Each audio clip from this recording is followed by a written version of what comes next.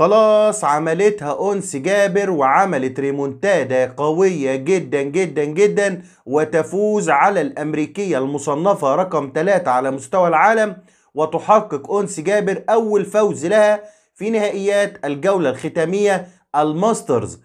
يعني برغم إني مريض شوية ولكن حبيت أطلع أقول مبروك للاعبتنا العربية التونسية انس جابر. ونبارك لها ونقول لها شد حيلك يلا يا انس كلنا معاكي إن شاء الله تتأهلي إلى نصف نهائي نهائيات الجولة الختامية. يا ريت في بداية الفيديو تعملوا like للفيديو اعملوا like كتير و share ومشاركة واشتراك في القناة إذا حبيتوا عشان تتابعوا معانا كل الأخبار الجديدة اولا بأول. في البداية بنقول مليون مبروك مليون مبروك أنس جابر في مباراة صعبة جدا جدا جدا. بدأتها أنس جابر في بداية كانت غير متوقعة وبداية سيئة جدا. اتهزمت أنس جابر في المجموعة الأولى ستة مقابل واحد. فازت في الشوط الأول صحيح ولكن اتهزمت ست أشواط متتالية في المجموعة الأولى. لتنتهي المجموعة الأولى لصالح الأمريكية جيسيكا ستة مقابل واحد.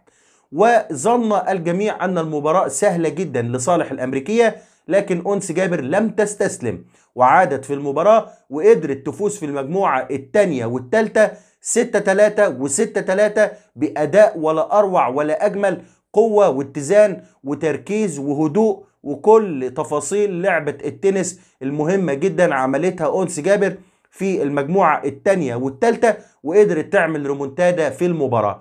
أنس جابر المصنفة رقم 2 قدرت تفوز على جيسيكا المصنفة رقم 3 وأنس جابر ما شاء الله حظوظها أمام الأمريكيات دائما عالية وكعبها عالي على اللاعبات الأمريكيات وبتحقق أول فوز لها في هذه المجموعة المجموعة بي.